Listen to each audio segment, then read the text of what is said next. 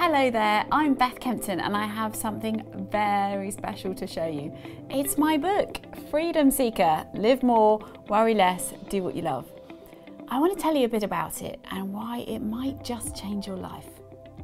Freedom Seeker is based on the simple but powerful idea that personal freedom is a choice. We all have the power to feel free. I think we already know that deep down, but many of us don't feel that truth because so many of us are living our lives feeling trapped by our circumstances, our relationships, social pressures, financial status, education.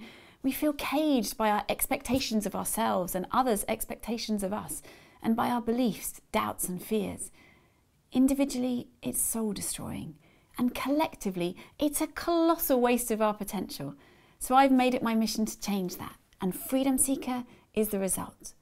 This book is an invitation to seek freedom in every corner of your life.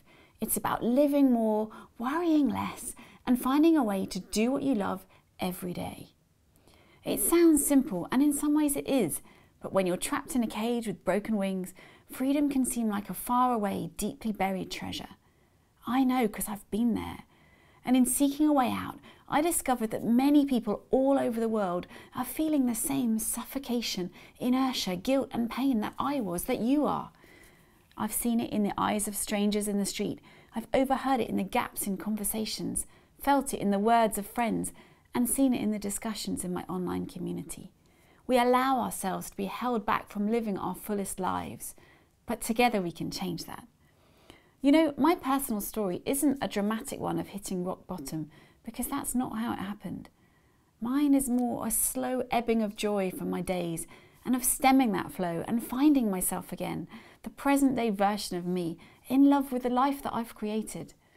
Inside this book, you'll also find stories from people from all walks of life many women, a handful of men, some famous people, some friends I've known since I was five, others I've met on the road by serendipity, people who between them have faced pretty much every major challenge of modern life and somehow found a way through.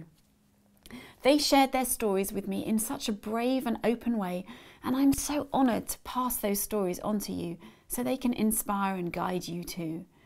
I hope they'll show you that it's fine not to know exactly what the future holds, but it's within your power to play an active role in shaping it.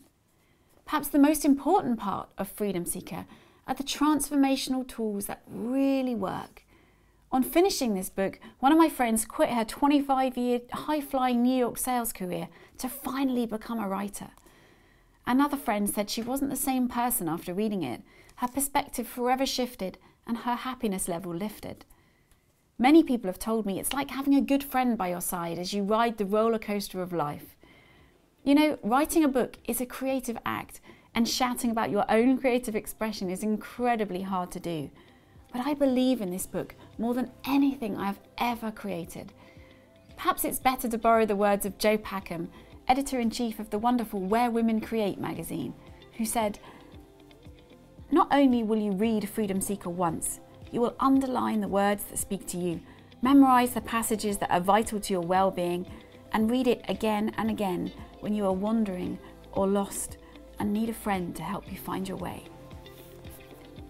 I wrote this book for you. I hope you will read it, soak it in, and set yourself free.